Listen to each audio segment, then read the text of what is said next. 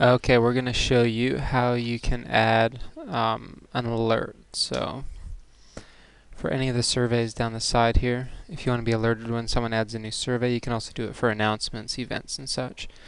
You just click on the survey that you want. It'll load.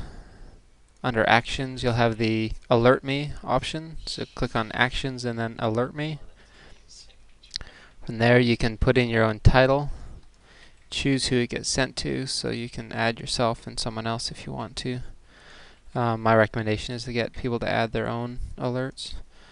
Then you can choose how the you, what you get alerted for. So if there's any changes, or if a new item is added, an existing item is modified, or if an item is deleted.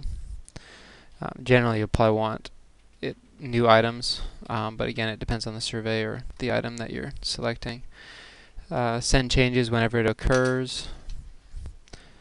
And you can do it daily immediately or you can have a even have a weekly summary. Once you've selected that just hit OK.